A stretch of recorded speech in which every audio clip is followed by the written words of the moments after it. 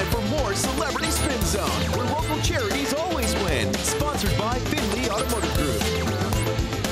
All right, so we are now in our celebrity spin zone with the Gazillionaire, and this month we're spinning for the uh, charity, the American Cancer Society. So whatever amount we land on Gazillionaire, that's going to go back to them. It's going to be donated to them so they can continue doing some amazing work in our community. So this is how it works. All you got to do, you just got to press that button when you feel compelled to do so. Very easy. Also, I don't like doing things that require any physical labor of any kind. So the touch screen Yeah, you aspect have a of this is person really to nice. usually do that. All right, how about you touch? You want me to do it for you? You do it. I'll do it. I'll do Even it. though Ready? your person's Ready? not here. Ready? This is the richest hand that will ever touch this stupid screen. You got to touch it a little harder. I know you got delicate hands.